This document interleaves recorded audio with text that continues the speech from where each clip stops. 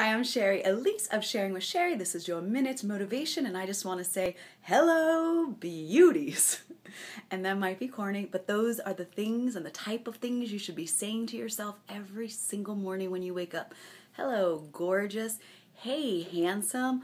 What's shaking? How can I help you today? What do you need from me today? Remember, I've got your back. I'm with you all day long. Go through the day and just enjoy it you have to talk to yourself. You have to give yourself that kind of loving that you want from a partner, that you wish that you had from somebody else.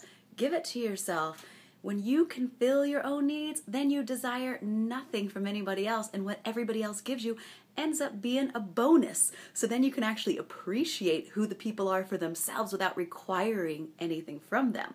And then that is a pure and loving and unconditional relationship they don't feel like you're being needy and you don't feel like you need any, every anything. So it's a perfect balance between the two. So fill your own cup love yourself up remind yourself every day just how important you really are. I love you guys. But it doesn't matter what i think. It matters what you think